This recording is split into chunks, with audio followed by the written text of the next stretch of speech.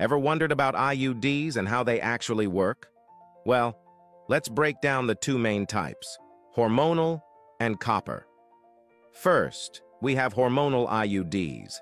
They release a small amount of progestin, which thickens cervical mucus, making it harder for sperm to reach an egg. They also thin the uterine lining, and some women may even stop ovulating. Hormonal IUDs can last anywhere from three to seven years. Then there's the copper IUD. It doesn't use hormones at all.